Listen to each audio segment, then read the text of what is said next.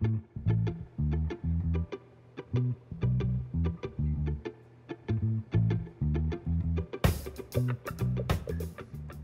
David Charpentier from the DL&I.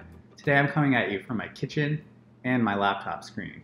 Why? Well, a very good reason. If you listen carefully, you'll hear there's a bit of an echo. Why is that? Well, the laptop microphone, despite how expensive the laptop is, is not very good. What can we do about it? Well, I'm going to show you today using Adobe Premiere. In this video, I'll teach you how to use the parametric equalizer to remove echo and fix hollow sounding audio. To begin, I've already placed my laptop recorded video and audio into my sequence. Like my previously recorded bit, the audio here is a bit hollow sounding. I always feel sound kind of gets ignored. I mean, when I was working in independent film, it always seemed like the sound recordist was the last guy hired, and his rate was always. To fix this, I'll use the parametric equalizer effect.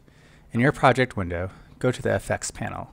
Under Audio Effects, you'll find the parametric equalizer. Drag and drop it onto your audio clip. In the Source window, under the Effects Control tab, the parametric equalizer settings appear under Audio Effects.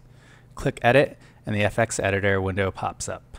There are a number of settings denoted by five different bands between the low and high points of the audio track.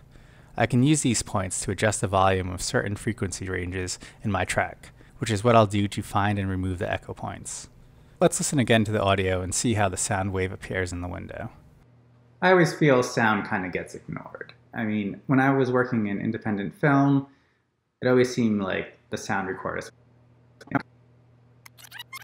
In this area between 3 and 4, there's a sort of bubbling that appears in the sound wave, particularly right after my words appear.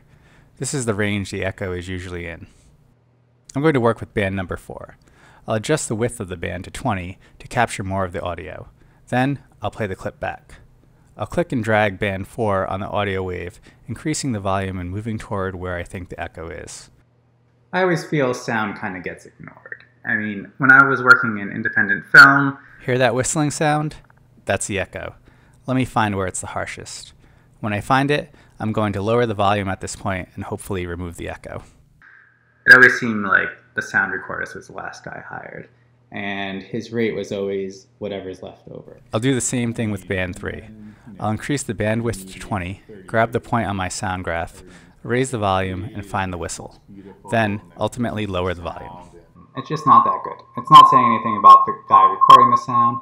It's just saying the fact that, you know, we went cheap on it. And then if it doesn't sound good, well, then it's not prof- That sounds pretty good. Let me just check around points 5 and 2 to see if there's anything else I can remove. The less echo I get, the better. film. It always seemed like the sound recordist was the last guy hired, and his rate was always whatever's left over. I mean, and then you know, shoot a movie for 30 days, and everyone's getting paid, and it looks beautiful, and then you listen to the sound, and it's just not that good. It's not saying Not much on band 5. recording the sound. I'll reset it and try band 2. We went cheap on it, and then if it doesn't sound good, well, then it's not professional. No one's going to buy the film. If it's an advertisement, no one's going to buy your product. If it's a tutorial for an app or something. A little bit here, so I'll lower the volume. Not quite as much as I did with bands 3 and 4. I'll also adjust band 1's position to make the drop to band 2 more narrow, whereby I won't lose as much of the actual audio I want to keep. think of it this way: if you sound like you're coming from a tin can, Much better. Let's listen to the beginning again with the parametric effect fully on. I always feel sound kind of gets ignored. I mean, when I was working in independent film, it always seemed like the sound recordist was the last guy hired. And for comparison's sake, with the effect off. I always feel sound kind of gets ignored. I mean, when I was working in independent film, Let me play around a little to see if I can remove a little more echo. I always feel sound kind of gets ignored. I mean, when I was working in independent film, it always seemed like the sound recordist was the last guy hired, and his rate was always whatever. And that's it. I've pretty much removed all the echo from my laptop recording, and the sound is much more full. All with one effect and a couple of minutes of work. Now, let's let my rant on sound continue. Anything about the guy recording the sound, just saying the fact that, you know, we went cheap on it.